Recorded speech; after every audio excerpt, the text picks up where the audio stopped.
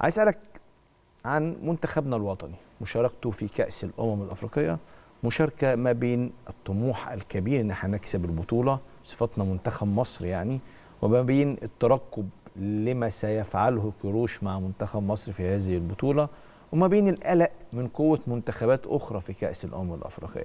حضرتك متابع مشاركة منتخبنا الوطني إن شاء الله في هذه البطولة إزاي؟ آه طبعا إحنا بنقول آه يعني مستر كيروش أثار جدل آه في المؤتمر الصحفي قبل السفر. أنا عايز أقول حاجة كيروش مدرب كبير. عنده CV كبير. صحيح. واشتغل في أندية كبيرة. صحيح. واشتغل في منتخبات. صحيح. وصل كأس العالم. مه. مش ممكن مستر كيروش ذكي جدا. مه.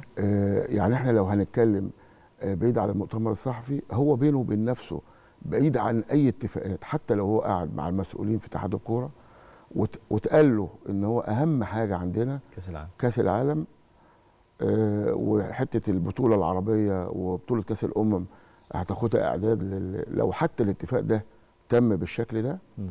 أنا ما أعتقدش على المستوى الشخصي لمستر كوش إن هو هيفكر نفس التفكير لأن هو مدرب كبير جدا آه اسمه يهم إن اسمه يبقى في مكانة كبيرة جدا وخصوصا إن هو داخل داخل في قارة جديدة عليه صحيح. يعني هو اشتغل في قارة آسيا اشتغل في أمريكا الجنوبية صحيح. إنما قارة أفريقيا تعتبر جديدة بالنسبة له آه. وأوروبا طبعا في الأندية اللي اشتغل فيها طبعا. إنما بالنسبة لقارة أفريقيا هو طبعا مدرب كبير ويهمه ان اسمه يفضل كبير ويكبر أكتر صح. وخصوصا كمان في مكان جديد صحيح هو بيشتغل فيه أنا أنا ف... أنا أنا بشكر حضرتك مبدئيا ليه بقى يخليك. عشان أنا أنا صوره نبح في الصيغة اللي حضرتك اتكلمت بيها دي انه يا جماعة حتى لو كروش قال لكم أنا مش هاخد كأس الأمم الأفريقية أكيد هو سيبك من إن هو بيحب منتخب مصر وبيعشق منتخب مصر هنقول له هو ما بيحبش منتخب مصر وجاي ياخد فلوس زي ما بعض الناس بيحب بتقول. نفسه. بس أكيد بيحب نفسه. طبعا. أكيد ده عايز يبقى ناجح. طبعا. أكيد عايز يكسب بطولة. يعني ده ده ده فكره. طبعا. معلش أنا حتى لو أنا إنسان فاشل كمان وما عنديش سي في وما عنديش تاريخ أنا مش هبقى داخل أي فرصة. بطولة عايز أخسر. طبعا. أكيد عايز أكسب يعني. طبعا. ف... فكده فزي ما حضرتك بتقول آه كابتن جوهري جه في بطولة كأس امم 98 98 بص هيئ الرأي العام كله إن إحنا رايحين هنطلع من الدور الاولاني هنتبهدل. آه كل يعني لا. هنخرج من الدور الاولاني صح. والرأي العام خلاص والإعلام لل- للوضع ده. صحيح. ورحنا خد كأس الأمم الأفريقية بأداء فوق الممتاز. صح. آه، فاللي أنا عايز أقوله إن مستر كروش مدرب كبير جدا. وشخصية قوية جدا. وذكي جدا. و... وعنده ملكة ال- التحاور يعني بيعرف يتحاور مع الإعلام بشكل جيد أنا اتفرجت على لقائه مع الإعلاميين ذكي. وصدره رحب وبيستوعب جميع الأسئلة وبيجاوب إجابات مستفيضة بتريح الإعلام.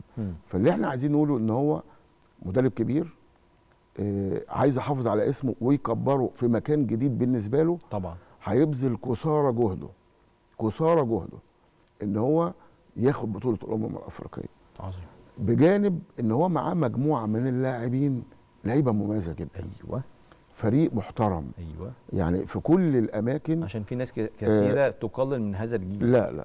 يعني أنا مع احترامي لكل الآراء إنما أنا وجهة نظري الشخصية آه، آه، محمد الشناوي أحسن جون في أفريقيا. أبو جبل والكلام اللي إحنا بنقوله ده يعني إن إحنا مش بنخترع كلام. الكلام ده في التصنيف حتى الأفريقي أو في القوة الشرائية بتاعت اللعيبة أبو جبل ومحمد الشناوي متصنفين من العشرة الأوائل. فاحنا مش هنتكلم بقى على مندي تشيلسي و- هنتكلم على ال- ال- المحليين اللي محليين، عندنا آه لا اصل أصل لو ع- لو افريقيا على مستوى آه. المحترفين فأنت عندك بونو بتاع المغرب آه بونو ومندي وهنخش. في هنخش في, في. الموضوع هيكبر عن كده طبعاً. فاللي إحنا بنقوله إن محمد شناوي عندنا محمد شناوي أحسن جون في أفريقيا.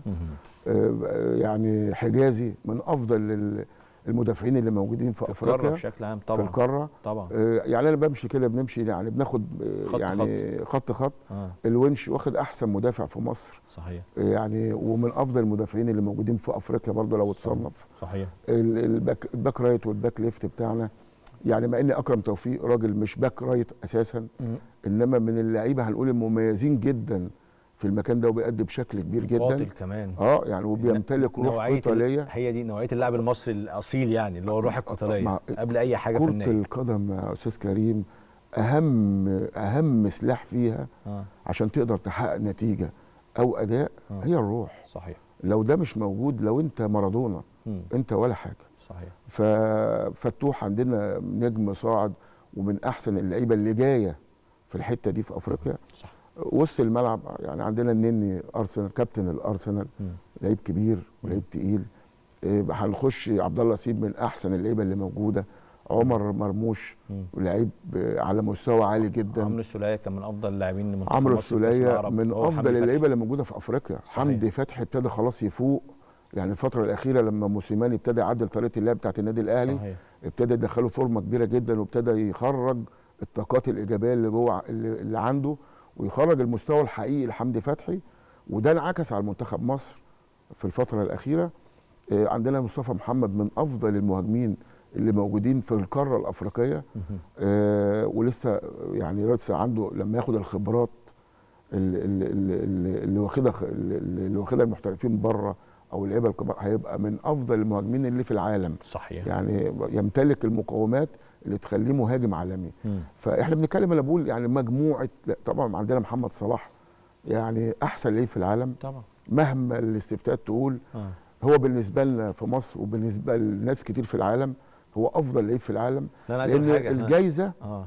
الجائزه اللي بتتاخد دي بيبقى فيها يعني فيها رعاة وفيها شغل بيتعمل وفيها بعيد, تربطات بعيد, عن التربيطات والرعايه والكلام ده كله إن شاء الله يوم 17 جائزة The Best الفيفا أفضل لاعب في العالم هيكون محمد صلاح بقول ده لكم ده إن شاء ده الله يعني, يعني, ده تتويجا هيبقى بإذن الله يعني ده تتويجا. فعلا آه. لتعبه وأدائه لأن هو يستحق إن هو يكون أفضل لعيب في العالم بما يقدمه من أداء رائع ده إحنا عندنا داخل- عندنا لاعب مصري بينافس ميسي وليفاندوفسكي على جائزه يعني- افضل لاعب في يعني- العالم. يعني- ده, ده كان حلم يعني. لا وأرقام قياسية. آه يعني أنت حلم يعني, يعني بينافس ميسي وبيوصل لأرقام قياسية للعيبة كبار جدا في الدوري الإنجليزي و- وبينافس يعني بيحط نفسه كل يوم بيعمل رقم قياسي في البطولات الأوروبية وداخل الدوري الإنجليزي. يعني يمكن اللعيب الوحيد اللي سجل في كل الأندية الإنجليزية داخل الدوري الإنجليزي محمد هداف الدوري الإنجليزي. لا لا ما تعدش أرقام بقى. وبعدين دعاوي دعاوي بقى يعني إحنا مش آه. بنقول إحنا بنقول دعاوي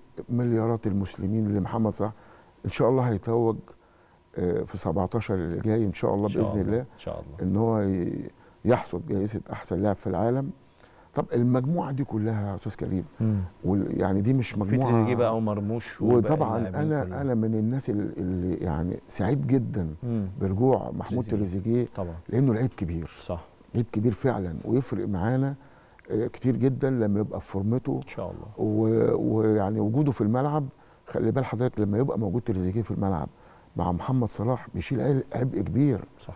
وده اللي كان بيحصل في أوقات كتيرة جدا لما كانوا الاثنين موجودين في الملعب. لما بتبقى معتمد آه، أيام آه، آه، كوبر كان كل اعتماد منتخب مصر على محمد صلاح. تريزيجيه كان بيشيل هم كبير جدا في أوقات كتيرة جدا وهو يمكن من الأسباب الرئيسية اللي وصلتنا كاس العالم. وعنده كمان عنده, الأخيرة. عنده أدوار كمان دفاعية وهجومية لا رائعة. ملتزم. يعني- اللعيب المحترف يا أستاذ كريم مفيش دلع. صح. أنت لو ما التزمتش وأديت دورك الهجومي والدفاعي أنت خارج الحسابات وك- والمقابل المادي بيقل والت- والتصنيف بتاعك وبترجع لمستويات أقل في الفرق الفرقة بتبتدي تحطك نمرة اتنين مظبوط. في فرقتك وممكن تبقى نمرة ثلاثة وممكن يستغنوا عنك في أي انتقالات موجودة. فأنت تحافظ على مستواك آه، بالتزامك أدائك الهجومي الجيد أدائك الدفاعي الجيد ال... ال... تبقى عندك بقى ال... زي ما نقول إيه ال... ال... الإضافة بقى اللي هي بتاعت المهارة المصرية. ان انت بتعمل حاجة كبيره جيدة لنفسك بتعمل الفارق في اوقات كتيرة جدا فدي اللي بتفرق. آه، لعيب عن لعيب بالتأكيد طيب